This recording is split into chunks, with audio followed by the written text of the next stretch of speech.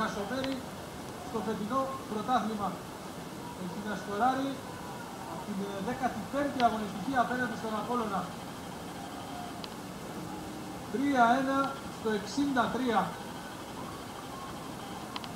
Με το αριστερό δεν μπορεί να κάνει τίποτε ο Ανέστης. Άπιαστο σουτ 3-1.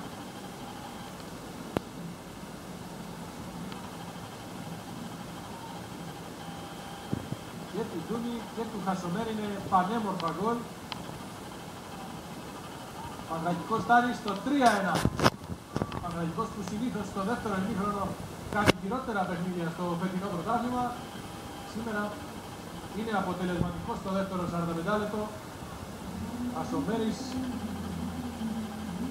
τώρα για δεύτερη φορά στην καριέρα του σε 13 μάτς στην uh, Super League.